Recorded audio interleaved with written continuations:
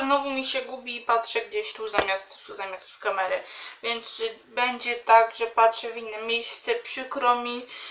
Nie mogę się powstrzymać przed patrzeniem tam, zamiast tu. Przychodzę do was holem. Przewróciłabym coś. I będę robić hol. Wydałam dużo pieniędzy ostatnio, więc uznałam, że ja wam pokażę na co wydałam te pieniądze. I mamy, mamy trzy kategorie wydawanych rzeczy, na które wydałam pieniądze. To są kosmetyki, rzeczy artystyczne i ubrania. Ubrania, jakieś takie dodatki, rzeczy. Może zacznę od kosmetynków. I byłam ostatnio miesiąc temu albo dwa.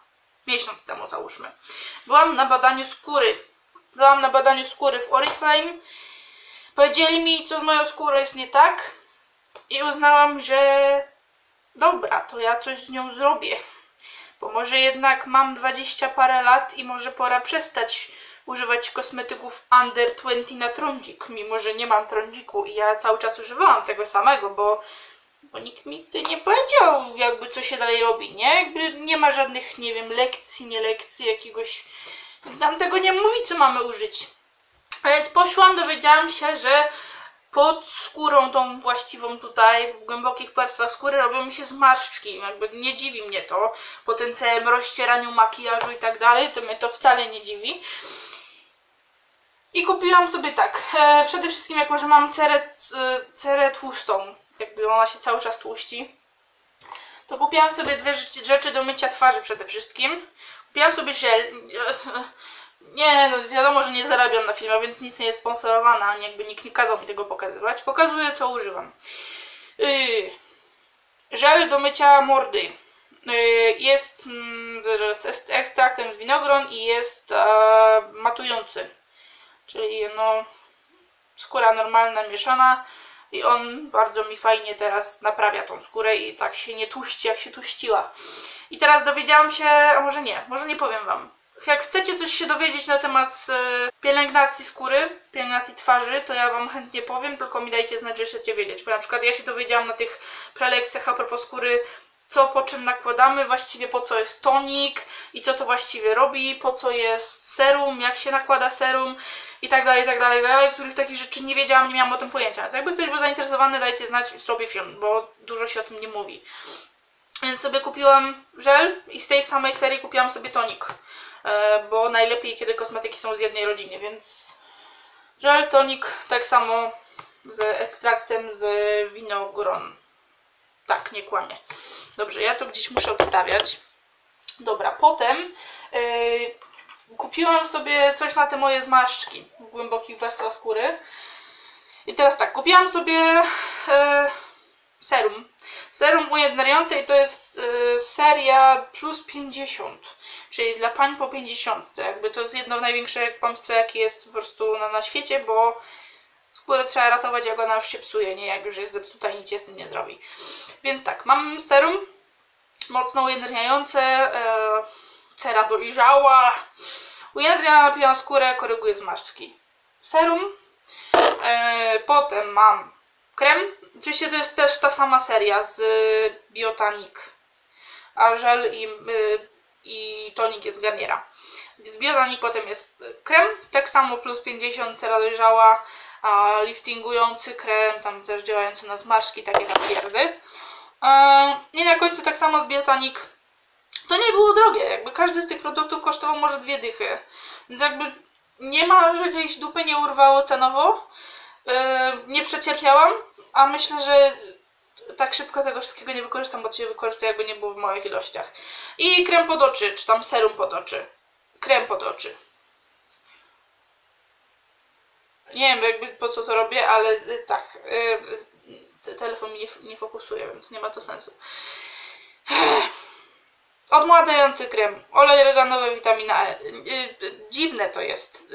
Znaczy, myślę, że działa trochę w jakiś tam sposób, bo skóra jest odżywiona i rzeczywiście działam i używam.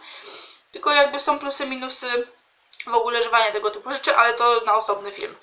E, tak, to są kosmetyki, a potem w ogóle e, poszłam do takiego, takiego ładnego sklepu o nazwie Polskie Drogerie i znalazłam magiczny żel aloesowy. Ja myślę, że to jest rewolucja po prostu na rynku. E, genialna sprawa. E, łagodzący żel aloesowy, 99% aloesu z firmy Holika. E, I teraz tak, ten żel robi wszystko. Ten żel robi wszystko, godzi podrażnienia po goleniu, jako krem do twarzy, krem po goleniu, krem do depilacji, serum łagodzące zaczerwienienia i to mi pomaga bardzo na moje policzki, które zawsze są tutaj strasznie czerwone.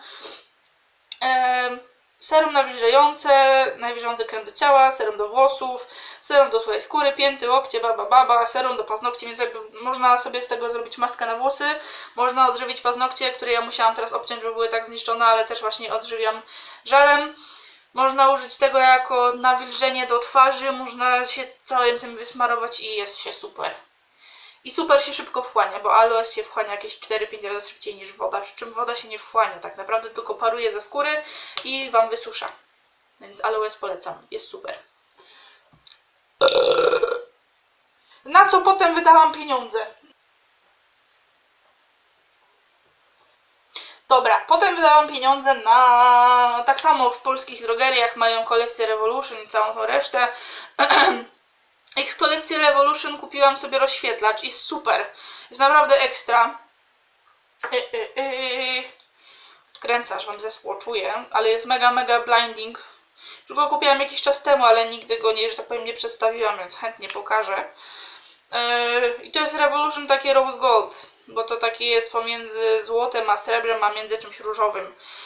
Jest mega, mega jakby kosmos.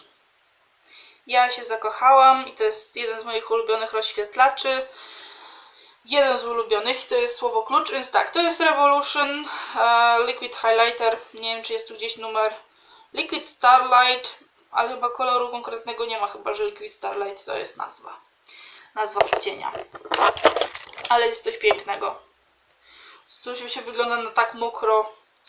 I jeszcze kupiłam Golden Rose Metals Liquid Glow Highlighter. On jest w trochę jak, jak w takiej formule jak szminca, szmi, szminka. I on jest fajniejszy, bo ten e, Revolution ma wraż- mam wrażenie, że on się trochę odbija na jakieś takie no ma drobinki jakby brokatu, a za to Golden Rose jest super, super po prostu gładziutki. Też jest blinding. Ja lubię je kłaść jeden na drugim i po prostu widzą nas z drugiego końca ulicy, nie? Ale coś, coś magicznego. I też nie są to drogie te rzeczy, jakieś koło dwóch dyszek, także powoli. Golden Rose to jest numer jeden Pearly Pink. Dobra. Jak już mówimy o highlightach, to zamówiłam sobie Jeffreya. Szukam pędzla. Oczywiście numer, nie numer, a nazwa Ice Cold, bo ja jestem człowiek blady.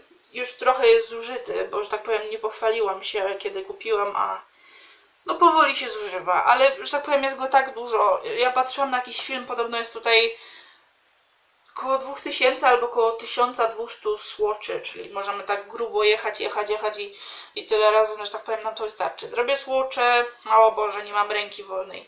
Zrobię słocza palcem, e, a potem zrobię słocza pędzlem. I dla mnie to jest magia. Jakby, to też zależy od światła. Jak wyłączę odpowiednie światło, to po prostu pff, i widzimy kosmos, nie?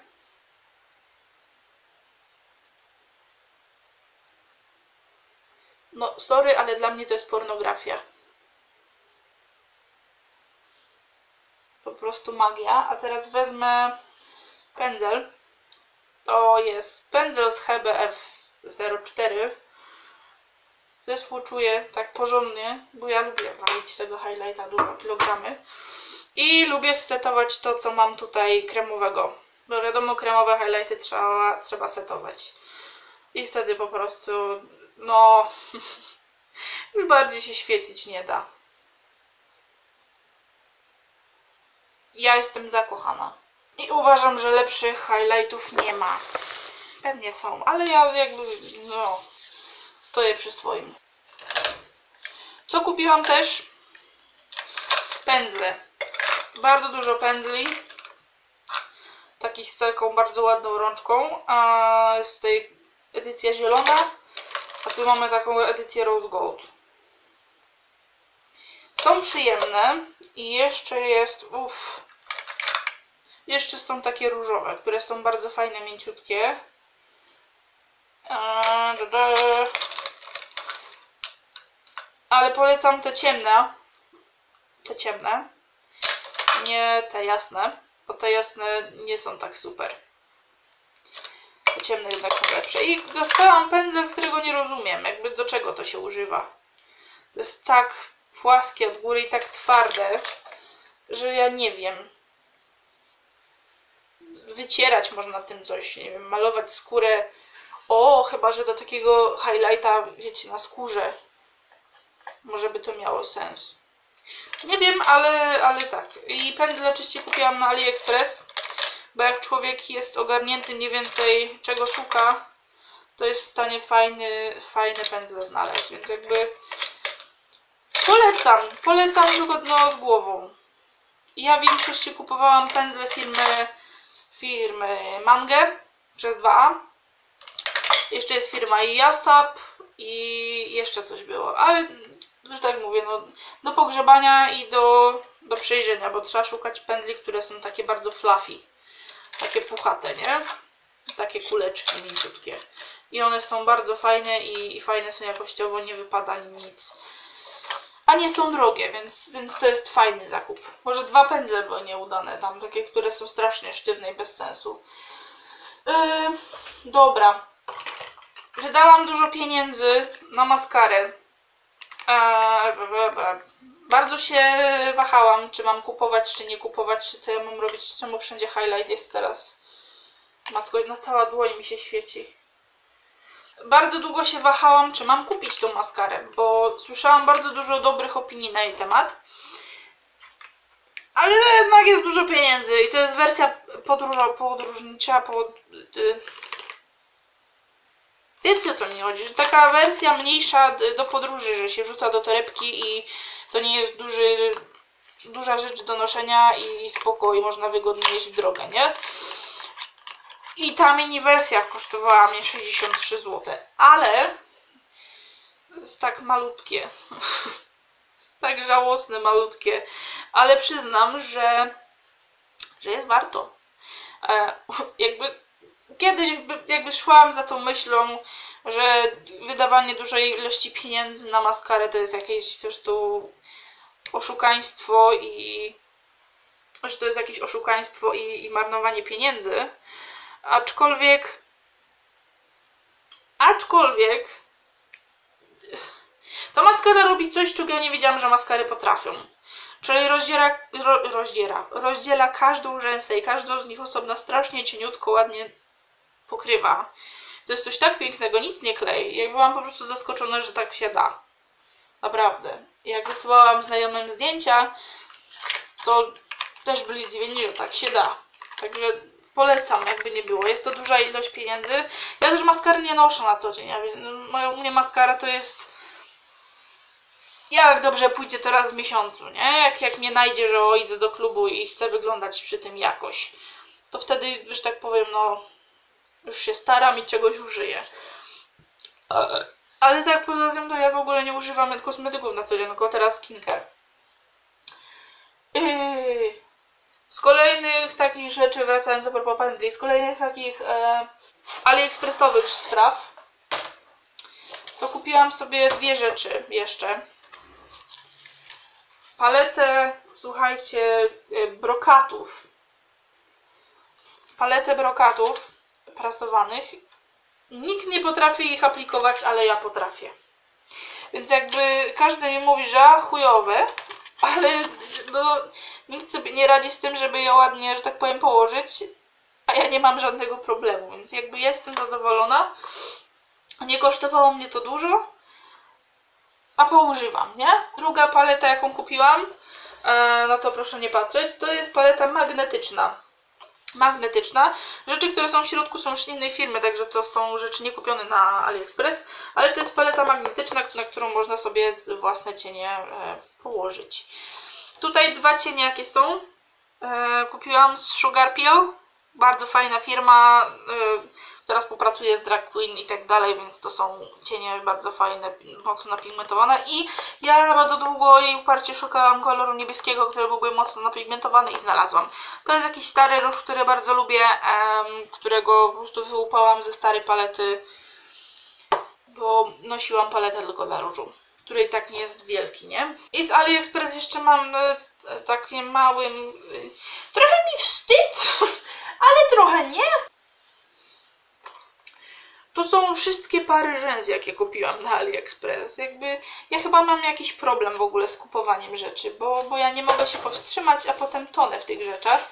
I jakby, no ja nie wiem, ale wam pokażę. Tutaj mamy opakowania po 5 par. A one się tam lekko czymś różnią albo wcale. Niektóre, niektóre opakowania są takie same, a niektóre rzeczywiście mocno się różnią od tych na przykład, nie? E,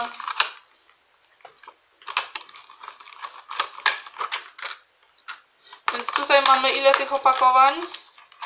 6. 6 razy po 5 par to jest 30 par rzęs. Łącznie 60 sztuk, bo na każde oko, nie? 60. Potem znalazłam takie gigantyczne rzęsy. To je przecięłam na pół, ale są po prostu gigantyczne, więc ja uznałam, że ja się nie powstrzymam. I są bardzo mięciutkie i gigantyczne, więc jakby coś, co ja lubię. Więc kolejne 5 par rzęs, czyli mamy 35 par. Tutaj jeszcze mam po 10 par, dwa opakowania, czyli to jest 55 par. A jeszcze do mnie na z Ali idą chyba. Jeszcze idzie do mnie z Ali jedna para, tak mi się wydaje. E, to są dwie takie same, dwa opakowania. A to, co mamy w środku, to są rzęsy na dół. Pod oko. Porwały mnie, bo niektóre są naprawdę ładne, więc uznałam, że ja chcę. Ja chcę i ja mam. Więc tak, e, 50 par rzęs. E, e, Fajnie. Ja naprawdę mam jakiś problem. A z rzeczy już nie AliExpressowych, a jednak też fajnych. Kupiłam paletę Morphe. Bardzo bym chciała powiedzieć o 35B Color Burst. I tu mamy całą po prostu tęczę. Całą tęczę, bo ja lubię kolory. Ja lubię kolory, co jest szokujące, bo kilka lat temu bym o sobie tego nie powiedziała. E, ale jest ich trochę, mega napigmentowane, bardzo się przyjemnie nimi pracuje, blendują się super. Polecam, bo jakby nie było, to jest koło 100, 120, za 36 cieni tego nigdzie nie dostaniecie za taką jakość. E, I polecam stronę Beauty Bay. Z niej zamawiałam, bo na Beauty Bay e, przesyłka do Polski jest za darmo. Praktycznie od jakiegoś tam najniższego pułapu, który bez, bez problemu e, przekroczycie kupując chociażby taką jedną paletę. Dwie palety tak zwanego żółwia. Ja to nazywam żółwia, nie mam pojęcia jak to się czyta. Juwias pewnie. Ale ja to czytam żółwia, ale jakby J to czytam jako żół i no... Cudowna paleta. Cudowna jest po prostu gigantyczna przy okazji, ale jest cudowna, bo jest mega napigmentowana i mięciutka jak masełko. I super się po prostu blenduje, wszystko jest tak mięciutkie i tak, och, coś, coś pięknego. Ta paleta była już trochę droższa, ale porwały mnie kolory, bo, bo, bo kolory, więc no...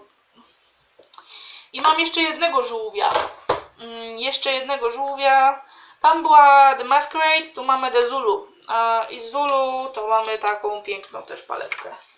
Porwała mnie ta zieleń w środku. Ja, ten żółty mnie też bardzo porwał. Szkoda, że nie widać jak bardzo one się ładnie błyszczą, bo niektóre z nich to są shimmery. A, no, jako tako pod kątem widać, ale tego i tak nie oddaje, jak, to wygląda w rzeczywistości. I to są już palety trochę droższe, ale, ale też super i też godne polecenia.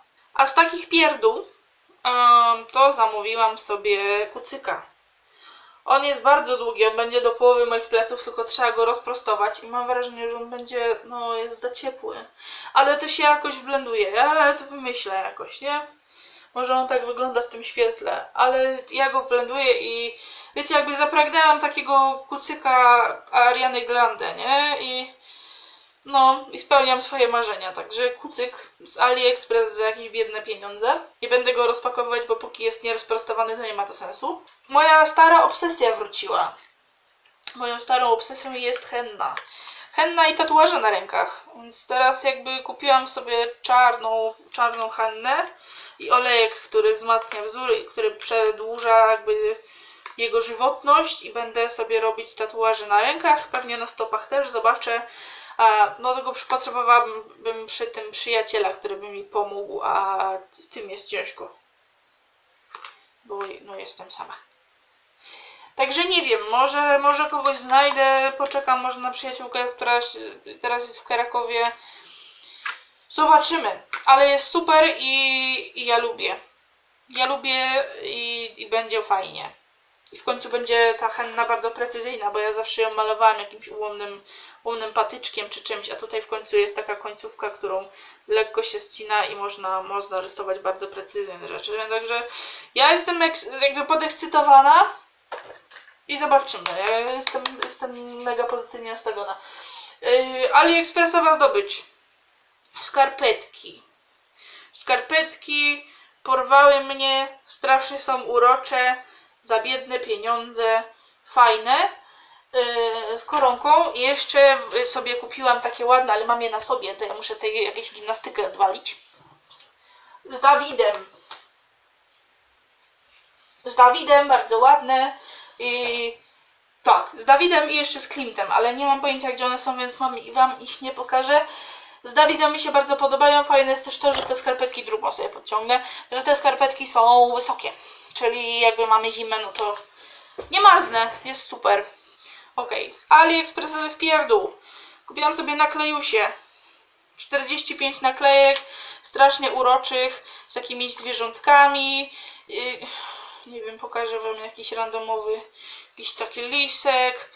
Nie wiem, takie słodziutkie rzeczy gdzieś do naklejenia, jak się komuś wysyła list. Mam jeszcze z kotkami, z takimi dużymi oczami. I jedną bardzo fajną, która mi się bardzo podoba, pomysł w ogóle na te naklejki. To są naklejki w kształcie w kształcie wosku, które są mega super, mega wyglądają jak się przyklei na list.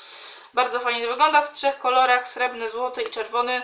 Już jeden list taki wysłałam, bardzo mi się to podoba. Jakby to taki fajny, oldschoolowy, jakiś taki oldschoolowy. Taki, no wiecie, organiczny feel, jak się wysyła komuś, komuś list. Okay, przechodząc do rzeczy artystycznych, to kupiłam sobie podkreślacze.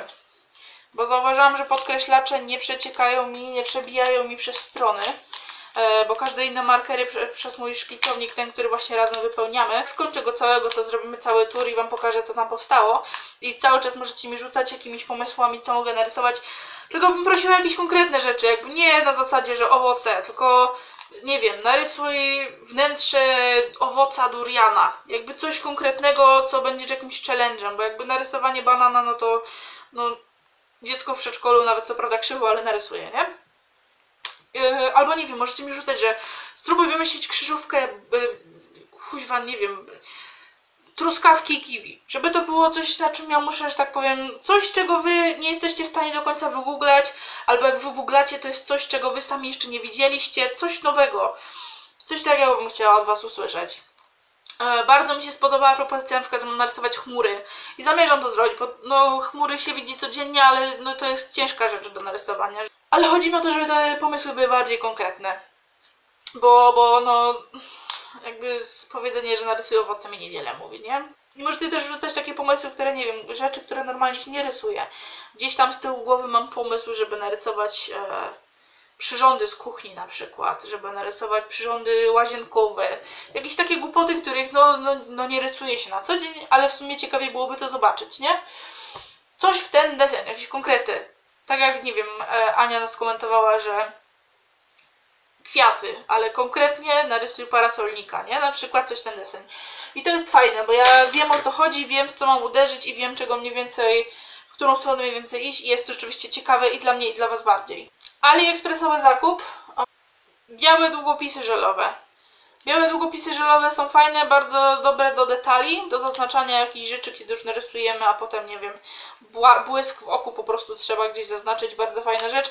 Nie są najbardziej napigmentowane niestety, myślałam, że będą lepsze, ale no czegoś się można spodziewać za...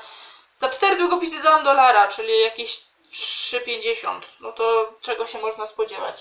Moja mama wymyśliła sobie, że mam jej narysować słoneczniki. Więc kupiłam dzisiaj pod obrazie dosyć spore, ale ono będzie w ogóle w ten sposób. I chcę, żeby ten, ten słoneczniki były takie jeden pod drugim. Nie wiem ile ich się zmieści, może pięć, bo cztery to będzie tak dziwnie. Ale chciałabym, żeby ten obraz działał w obydwie strony, żeby te słoneczniki były w stanie dobrze wyglądać w ten sposób i dobrze wyglądać w ten sposób. Więc jakby zobaczymy jak nam to wyjdzie. I to jest pod obrazie 40 na 80. Pewnie trochę się namęczę, ale powiedziałam e, mamie, że to nie będzie najbardziej